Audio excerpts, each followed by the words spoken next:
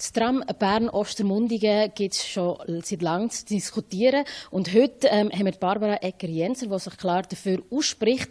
Ähm, wieso findet ihr, sollten wir äh, im März dann Ja stimmen?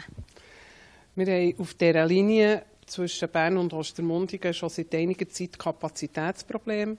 Und wenn wir die Leute noch fortbringen wollen, die zukünftig dazukommen, dann brauchen wir ein Tram, ein neues Verkehrsmittel.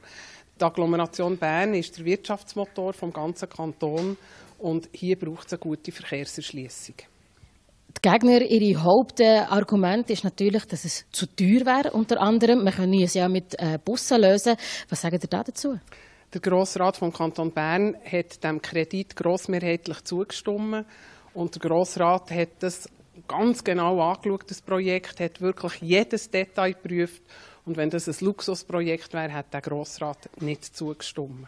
Also findet ihr, ist es definitiv kein Luxusprojekt? Es ist absolut kein Luxusprojekt. Wenn man es vergleicht mit anderen Tram in anderen Kantonen, dann muss man eher sagen, es ist eher ein günstiges Projekt.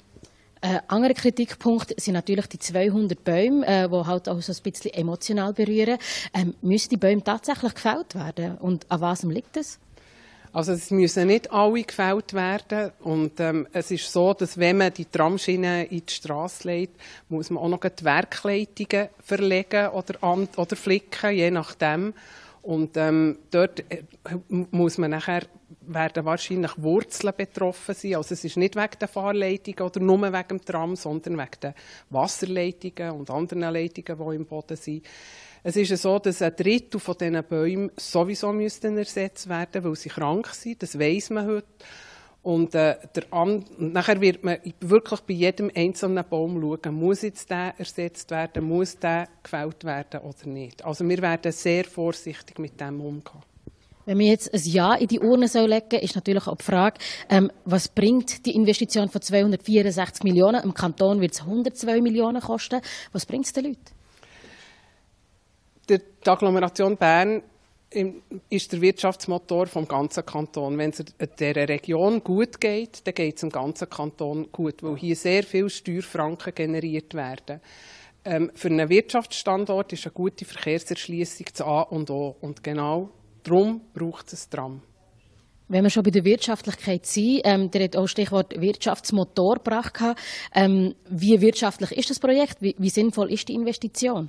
Also das Projekt ist sehr wirtschaftlich. Es ist, ähm, bringt zweieinhalb Mal so viel wie die Investition bei der Wirtschaftlichkeitsberechnung.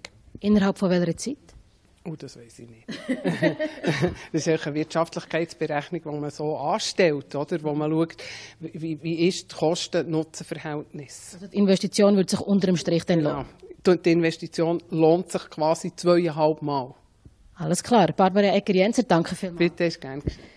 Natürlich wird die Abstimmung nicht nur die Stadtberner betreffen oder die Ostermundiger betreffen, sondern auch andere. Weil man muss darüber abstimmen und es wird auch den ganzen Kanton kosten. Wir haben hier den Gemeindepräsidenten von Arwangen, den Kurt Bleuenstein. Die Arwangener könnten doch sagen, es geht mir gar nicht an, Ostermundigen Bern. Was geht es mir an? Wieso sollen sie trotzdem ja stimmen? Das kann man natürlich. Man kann sagen, es geht uns nicht an. Aber gerade bei solchen regionalen Projekten ist natürlich die Solidarität gefragt, eben vom ganzen Kanton, weil der ganze Kanton muss entscheiden, ob man die Investition machen will oder nicht.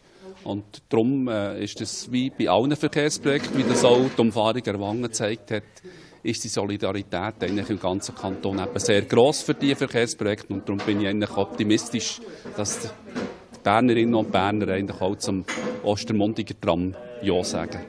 Ist es jetzt einfach ein Dankeschön vom Gemeindepräsidenten von Arwangen, dass man dann bei der Umfahrung ähm, dann so Solidarität erfahren hat vom Kanton, dass man jetzt sagt, jetzt geben wir etwas zurück? Nein, äh, ich habe das ja sehr noch äh, miterlebt, oder die Planung äh, von den Experten, von den Planern vom Kanton, äh, wie genau und wie äh, minutiös eigentlich solche, solche Projekte eben, gemacht werden geplant, geplant werden. Und zwar über Jahre. Über Jahre ist man da dran. Und schlussendlich ist, ähm, ist nachher ein Projekt liegt auf dem Tisch, oder? Und man sagt, das ist jetzt eben optimal. Es ist optimal in Bezug auf, auf den ÖV zu Bern. Es ist optimal von der Wirtschaftlichkeit her. Und darum bin ich eigentlich äh, überzeugt, dass man diesem Projekt kann zustimmen kann. Kurt Blöstein, danke vielmals. Am 4. März äh, wird das Stimmvolk vom Kanton Bern definitiv darüber abstimmen, ob jetzt das Tram Bern-Ostermundigen Stadt äh, äh, zustande wird kommen. Wie ihr das Ganze seht, könnt ihr uns ja unten in die Kommentare schreiben.